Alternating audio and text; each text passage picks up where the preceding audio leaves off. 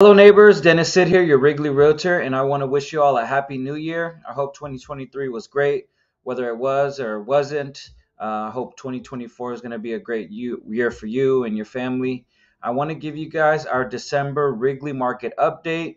Not a lot of activity in the last 30 days, which is completely normal when it comes to the holidays and the winter season, but there was a lot of changes in terms of the economy and the interest rates the interest rates dipped down to the lowest that they've been since May, almost two points. And that alone increased your buying power by about $50,000. So, what that means is that if you had got quotes one month ago and your payment was $4,000, now you can buy a $50,000 more home and keep your payments the same. Or you can still focus on that price range and your payment went down a few hundred dollars. So that is a big impact when it, when you're shopping for a home. So if you've been waiting for rates to go down, right now may be the opportunity. And I truly feel that if you're ready right now and you're in position, once the inventory starts coming up, if you're already pre-approved, you're going to put yourself in a good position.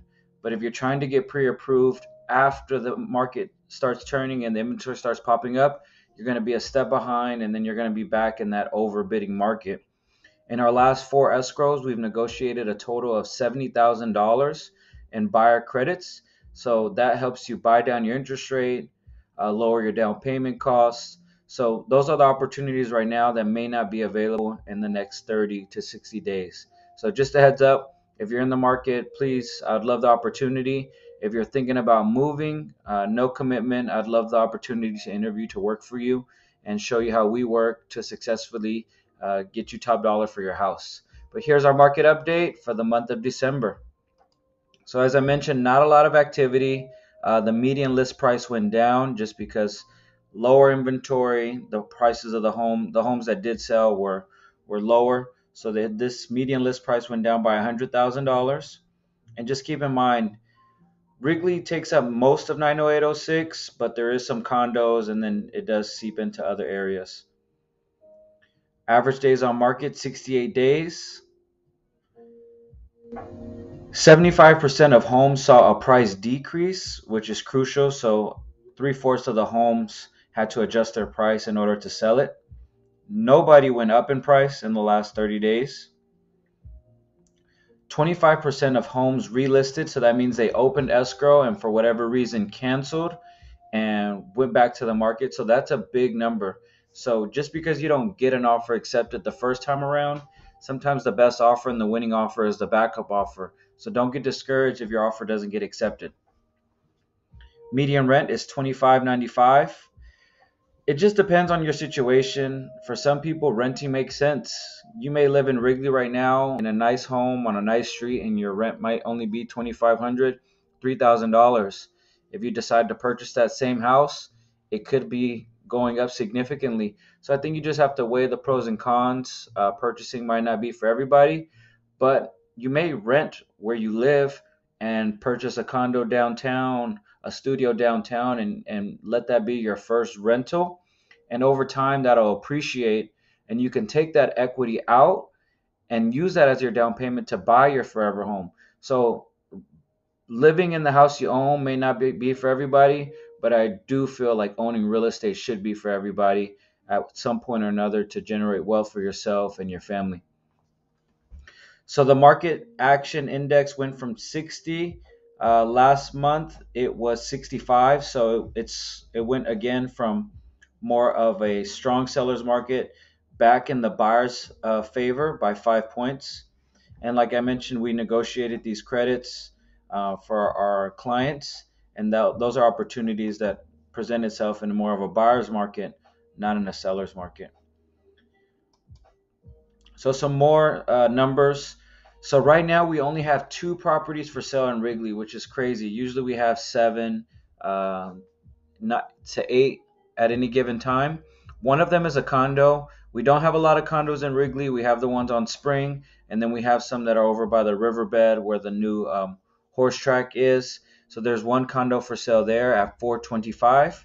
If you're interested in looking at it, uh, I'm going to show you some more information on that shortly. And the other property that we have for sale is a multi-unit. It's a, uh, it's on Chestnut. So if you're looking for an investment, that might be a good option for you. One under contract, three pending, and three closed in the last 30 days. The highest being 890.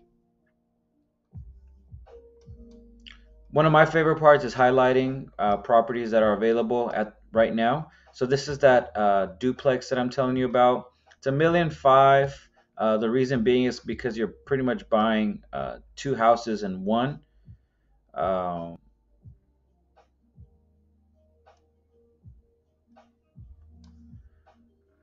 so in total, it's six bed, three baths. So it's three beds up top and three beds at the bottom. Hence the price. You're buying two houses for 750 if you want to look at it that way. A nice Spanish style home the unique thing on this one, you can buy a duplex with FH uh, with FHA loan, so you can buy with only three and a half percent down. But I don't know who has this amount of money, but if you don't want to put it on your credit, the seller will finance four hundred thousand dollars. So if you have a million one and sitting somewhere, uh, the owner will finance four hundred thousand dollars seller finance, so it won't be on credit. You don't need a bank. The owner is the bank. Next is the condo I was telling you about, uh, 883 34th Street, 425, one bed, one bath. If you want to stay in Wrigley, starter home, uh, this is a great option here. Bottom unit has a little patio. Looks like the floor was redone recently.